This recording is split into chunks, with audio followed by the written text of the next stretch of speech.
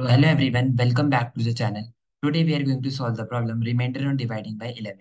So given a big positive integer number x represented as string, find the value of x modulo 11 or x mod 11. Output is expected as an integer. So okay, let's understand the question. What they are asking that if I do 1, 3, 4, 5 modulo 11, what will be the answer? That means I have to find the remainder when I divide 1, 3, 4, 5 by 11. So 11 1 11, 24, 11 to the 22, 11 to the 22, now 3. So remainder is 3, that is the answer. That we have to find. So what will be the remainder? 3. So how can we find this? Now I can do it normally? No. Why? Because constraints are given like, the uh, like string length is 10 is to power 5.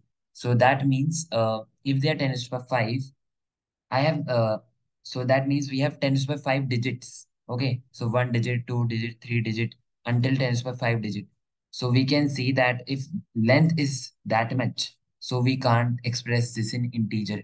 That's why they are given as input in string, not in integer, because integer can take at most 9, 9 digits. For 1 in 9, it will take 10 digits at most. So that's why long, long can take 1 in 18. So that's why this is 10 to the power 5 digits. So we can't express in, in int or long. We need string only.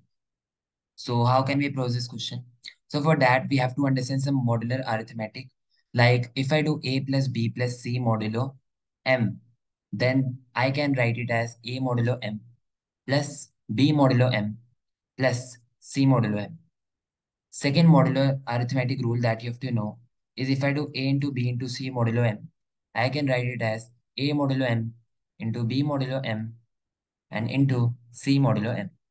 Now, now observation, there is some observation that you have to understand.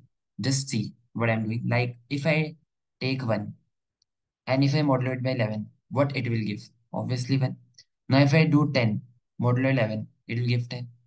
If I do 100 modulo 11, what it will give? 11 9 is 99, 1. Okay. Now if I do 1000 modulo 11, what it will give? It will give uh, 11 9 99. 1, 0, 10. So if you observe, if I go next add, it will give 1, 10, 1, 10. So this is the pattern that is forming 1, 10, 1, 10, 1, 10, like this. So this is the pattern that we have to observe. So now come to the question. Now what, uh, what was our goal? We have to find 1, 3, 4, 5 modulo 11. Okay. So can we express in expanded form as we done in basic mathematics that I can write it as 1000 plus 300 plus 40 plus 5 and modulo 11. Okay. Now, now as I said, a plus b plus c modulo m can be written as a modulo m, b modulo m and c modulo m. So I will write it as 1000 modulo 11 plus 300 modulo 11 plus 40 modulo 11 plus 5 modulo 11. Now, I know that this 1000 can be written as 1 into 1000 modulo 11. Okay. Secondly, this 300 can be written as 3 into 100 modulo 11. And this 40 can be written as 4 into 10 modulo 11. And this 5 can be written as 4, 5 into 1 modulo 11. Okay. Now, now I can say, now I have also seen this property. If I multiply then uh, and do modulo, they can they can also be written separately. So I can write it as 1 modulo 11 into 1000 modulo 11. Okay. Now plus 3 modulo 11 and into 100 modulo 11. Okay. And similarly, I get it as 4 modulo 11 into 10 modulo 11. And just see, uh, there is a small observation that you see only. Uh, like now you can see this 1 modulo 11 start from the back. 1 modulo 11, 10 modulo 11, 100 modulo 11, 1000 modulo 11. This is the pattern you're observing. Eh? I can write it as 1. I can write it as 10. 1, 10. Question become easy. Now, now what I will do, this can be written as 1. This is normal 3, 4. Because these are one digit number. Because always the number that we got is one digit number from 0 to 9 at most. So I can say the number will remain as it is. Because if I do 9 modulo 11 or 8 modulo 11, it will remain 8 as it is or 9 as it is. So I will get these numbers. So I'll, I will write them as it is. Now I can write it as 1 into 10 plus 3 into 1 plus 4 into 10 plus 5 into 1. Just do this. Just add these all and do modulo 11 side by side. Modulo 11 side by side, as I said, do modulo 11 side by side as I'm doing. So do modulo 11 side by side. And that's all about the question.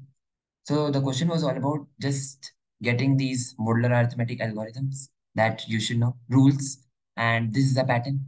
Just do it. So how can we uh, change this pattern? Obviously, we will use flag.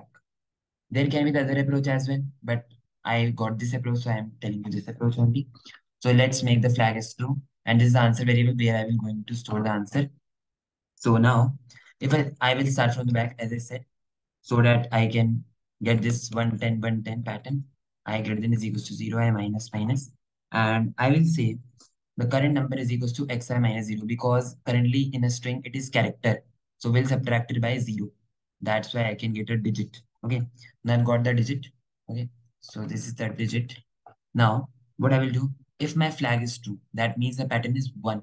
So I will say, okay, answer is equals to answer plus whatever in the answer, just as the number as it is. What I'm saying like, uh, as a 5, this is 1. So obviously this 1 will not make any effect. For this, let, let's say 300. So this was 300, 100 will, become 1. So this one will not make any effect, just add the digit as it is and modulo 11. So I will say, okay, just add num as it is, num modulo 11. So else, if the flag is false, then I will say, okay, just add the number by multiplying it by 10, as I said. So what I will do, just normally, as I was doing, 1 into 1000 modulo 11. So like 1000 can be written as 10. Okay. So 1 into 10 modulo 11, like 4 into 10 modulo 11. So that's why I've done like for flag false. And every time what I will do, I will shift the flag. Flag is equals to not flag. Okay. Now add then what I will do, I will return the answer.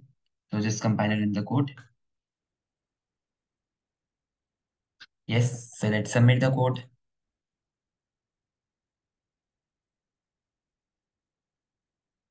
So yes, it's totally working fine. So this was all about code. If you like the explanation, please like, share, and subscribe to my channel. Thank you and have a nice day.